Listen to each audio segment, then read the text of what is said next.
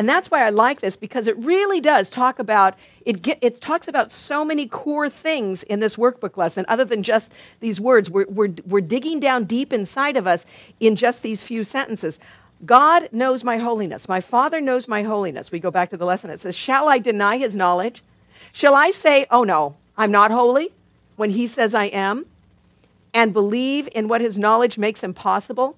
Shall I decide I am not what he says I am? That's how arrogant it is when we say, Oh, I'm unworthy. Oh, I'm unloved. You know, we're saying that what the, the, the source of the universe does not know how bad I am. I've hidden it from him so well. Really? You know, honestly? He says you are holy, and so is everyone who walks this world with you. He says that light and joy and peace abide in you, and so does it in everybody who walks this world with you. Do you think he could be wrong? The source of all knowledge? I don't think so. And that's what this is saying. It says, Shall I accept as true what he proclaims as false? So shall I say I am not I am not worthy when he says I am? He's wrong, I'm right? No, that's pretty arrogant.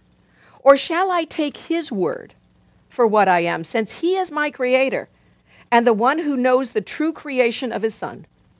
He knows who I am. That's never changed.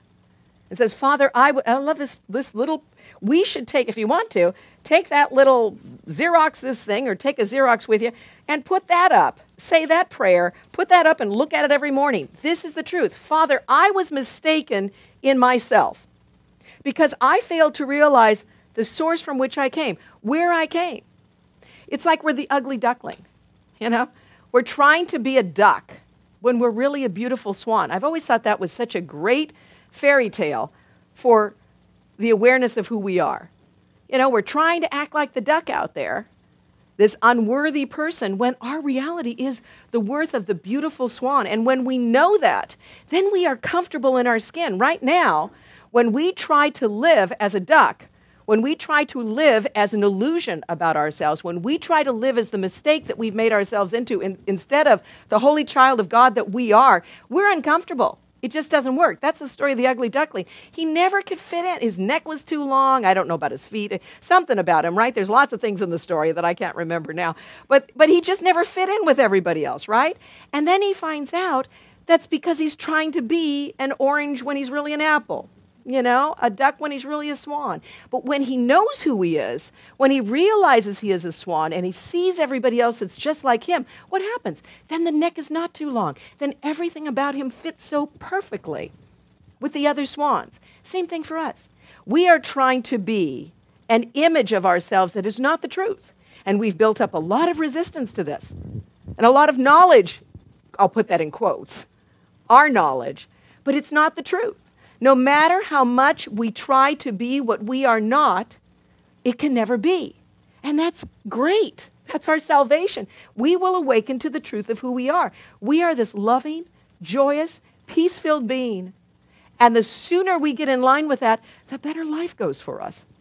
The more peaceful life is, and the more uh, at home we are. Then we can start worrying, I mean, stop worrying about the wars in the world in all these areas because we become the bringer of peace. That's what Jesus was. He knew without a doubt who he was. He knew who, without a doubt who his father was. Now, you don't even have to believe in A Course in Miracles to believe that, right? We know that, right? Isn't that the message even in the Bible? He knew who he was.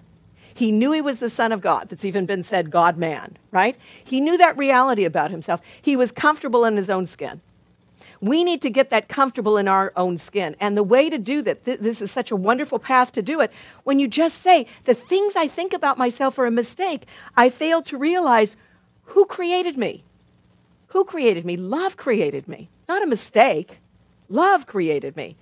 That's where I came from. I have not left that reality and entered into a body only to die. My holiness from my Creator remains a part of me as I am part of you, Father. And my mistakes about myself, they are simply dreams. They are not my reality. I let them go today and stand ready to receive, Father, your word alone for what I really am.